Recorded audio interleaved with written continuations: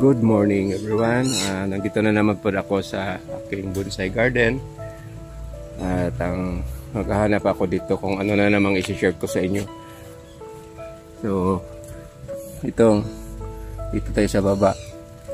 Nakita ko ng ano uh, Podocarpus. So, ang nakaganda nitong Podocarpus kahit ano uh, maliit lang yung paso yung parang kung saan kayo nagsisidlings is ano siya, mabubuhay. Uh, hindi mahirap buhayin. Yan. Bunutin ko. Yan. Ang haba na ano. So, I need to kuha og ano, matay akong dalakit. So, hayaan ko muna dyan. Basta siguro gagawin ko ito pero after that kasi starting raining or nag-start na mag-ulan. So, they, ito na lang siguro ang trabahuin ko ngayon. Uh, naglubo na ng mga wire. This is uh, microcarpa bonsai material. So, i-compare ko ito kahit gaulan man. So, ito yung isa sa microcarpa ko na naging maliit na yung dahon. So, i-compare ko ito with this uh, one here then ito ang gagawin ko so ito ang mahilig tayo sa bonsai kahit maulan minsan tatrabaho pa rin so before we continue on doing that or mag trabaho ko atong uh, mga materials i-share ko sa inyo yung mga nagawa ko ng uh, mga what we call this uh, podocarpus So, ito yung mga doon pa sa likod yung iba. So, ito na mga maliit na podocarpus ko nga winawire ko. So, this is the second wiring of my podocarpus bonsai materials. Yan. So, sa paggawa nito or pag-design, kanya-kanya tayo ng stelo. So, discarded na lang ng, ng ano, discarded na lang na nato kung paano nato ni siya iporma. So, kung anong nasa isip natin. So, ilan dito? 1, 2, 3, 4, 5, 6, 7, 8, 9, 10, 11, 12, 13, 14, 15. So, 15 lahat uh, mga bonsai materials kung nga podocarpus. So, may marami pa doon na hindi pa natapos. So, try ko lang sana hindi ito mapatuloy itong ulan. Huminto ito. So, we're going to move na to the microcarpa. So, I think uh, dito na lang siguro ako sa Saan ba ko? So dito na lang siguro sa labas kasi itong motor di maulanan. So mag-start na ako. So nandito na ako. So nadaanan ko ito. So it is uh, Argao, Taiwan. So itong i-share ko sa inyo sa taplin sa ni.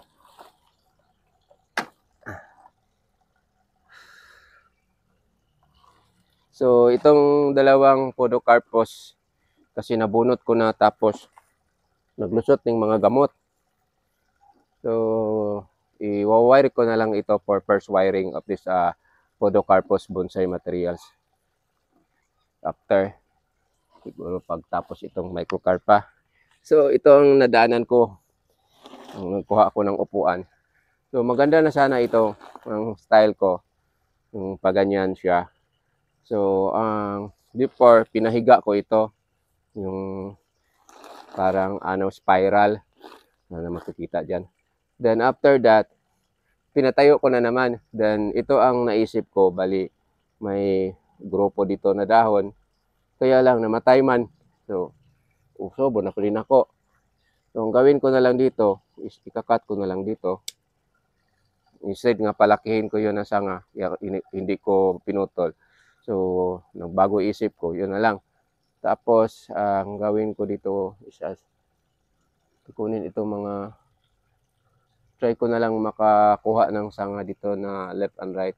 Then, dito sa bandang area na ito isa, ang dahon dito lang sa baba lahat, wala dito sa taas. So, parang maging yung kalbo siya, yung mga dahon na sa dulo lang, sa, sa tip lang. So, tignan ko lang kung ah ano mang, anong itsura niya after maging mang, mang, mangyari ng yung dapat yung gusto kong mangyari sa kanya. If ever pangitingnan, magawa na naman ako ng ibang form nito, ano, ah, Argao Taiwan ko na materials. So, itong Argao Taiwan, maganda siya pang maliit na ano, ah, bonsai. Kasi because sa dahil sa dahon niya nga sobrang liit ang dahon niya pag lumiliit ng dahon. So, itong gawin ko nito, walang dahon dito, yung sa mga mga dulo-dulo lang lagyan ko ng dahon.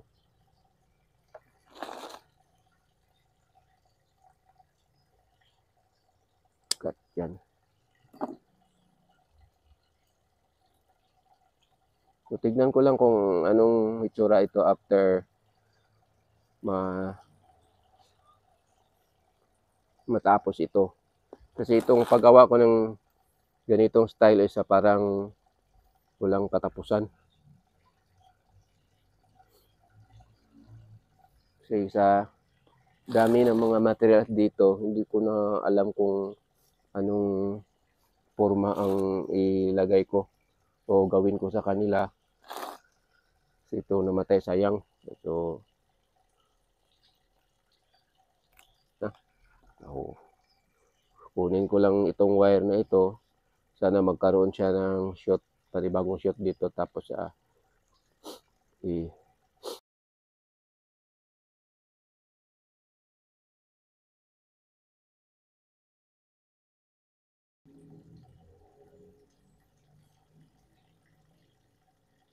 Yan. So, yun ang ano itsura sa style ko. At eh. Oh.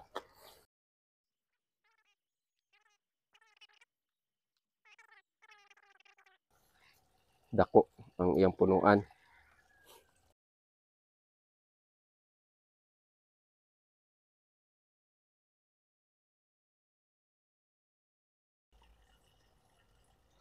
Ayan, tingnan. So maliit pa itong sanga itong sa baba.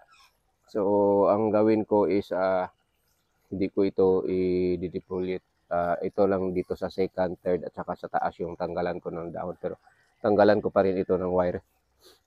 So start na tayo. Malapit na ako matapos sa pagtanggal ng dahon. After nito, ah, magtanggal na naman ako ng wire. So ganito kahirap yung magawa tayo ng bonsai.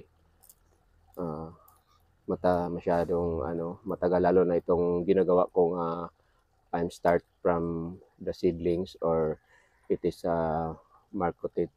So hindi ito cuttings yung ginawa ko nitong microcarpa. Ah, ginawa ko minamarkot ko ito sa mother plant ko para sure na mabuhay kasi pag ah, sa cuttings kasi kailangang maliit ang ika-cut mo ganito kalaki this one yung mabubuhay siya pag sobrang laki there's a tendency nga mamatay yung sanga na itatanim mo kung sobrang laki na sanga ang itatanim mo nito. Kahit ito ay sa madali lang buhayin pero uh, there's a tendency na hindi mabubuhay basta malaking sanga ang isisidlings mo. So mas maganda pag imamarkot mo para sure na mabuhay siya. Compared uh, also the same as the sana yun ito uh, this one also. Uh, pag magtanim ka dito tapos malaki itong podocarpus. Pag magtanim ka dito tapos uh, malaki yung sanga like this one yun, ganito kalaki yung sanga uh, there's a possibility na hindi mabubuhay. So ang gawin mo ganito kaliit yung itatanim mo ganyan. So ito ang ginagawa ko. Ang dami dito mga gilid-gilid. Yung magkakating ako itiso ko lang sa kahit saan. Kaya ang daming ano uh, podocarpus dito sa aming paligid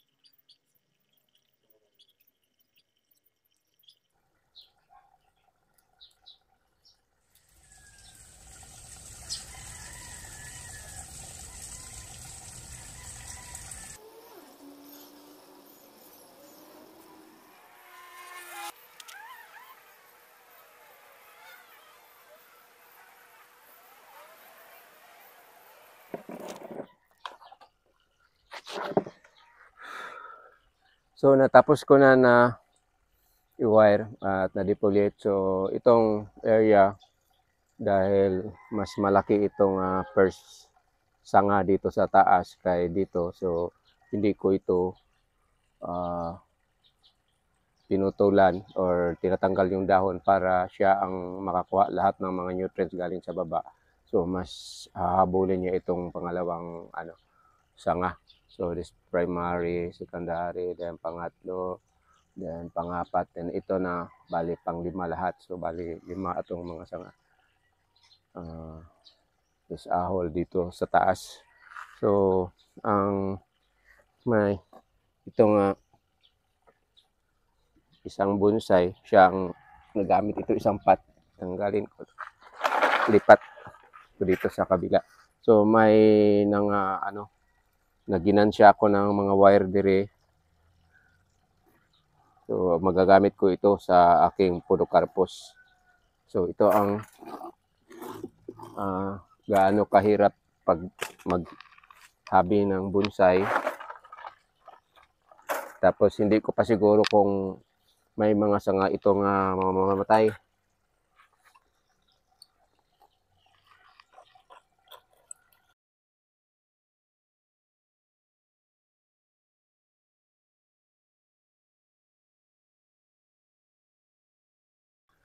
So, ito ang gagamitin kong pot. Para pag madaling lumaki yung ano niya, punuan, uh, i-transfer ko na siya sa maliit na pot. Kasi dati gamit ako ng diretso maliit na pot. Then, yung ginawa ko, parang nangasalot, dili magtubo dayon dati ano ako, uh, nagmi-mix ako ng mixing soil for intended for bonsai pero uh, ano bali. Yun lang. I just hope na hindi ito mamamatay. Ano ako.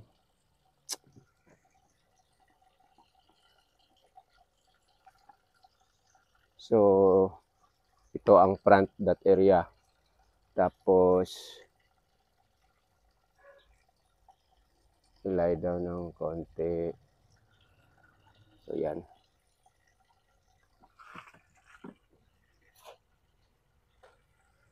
Yung ginamit kong uh, soil is uh, ordinary soil lang gikas dauban kasi pag gamit pa kong special soil for bonsai pareha raman gihapon.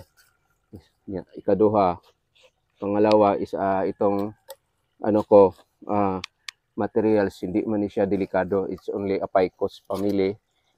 So mas kuan maggwapo ni siya or maganda ito for beginners katulad ko.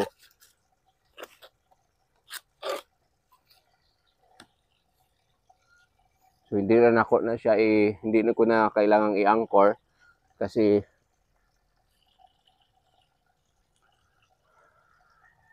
after buno sana naman to.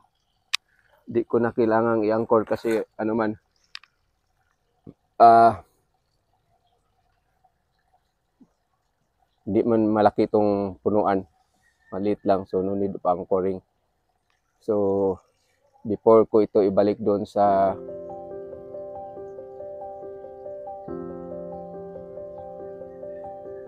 sa init o ibilad sa araw siguruin ko munang mabuhay ito.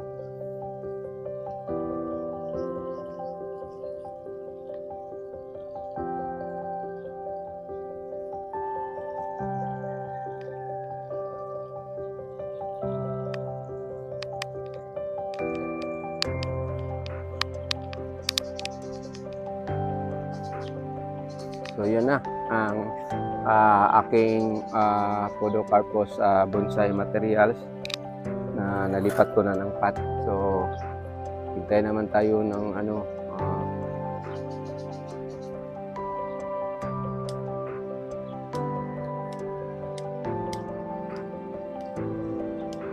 hintay naman tayo ng mga ilang buwan. Then, tingnan natin kung anong mangyari nito. Kung magibang maganda siya. So, at least, uh, Pa- para ng mukha naman siya na ano yung maliit na kahoy. So, ito lang masashare ko for this noon. Ito already 12 o'clock na in, the noon time. So, magandang umagasing lahat. Thank you for watching. That is all. Bye-bye.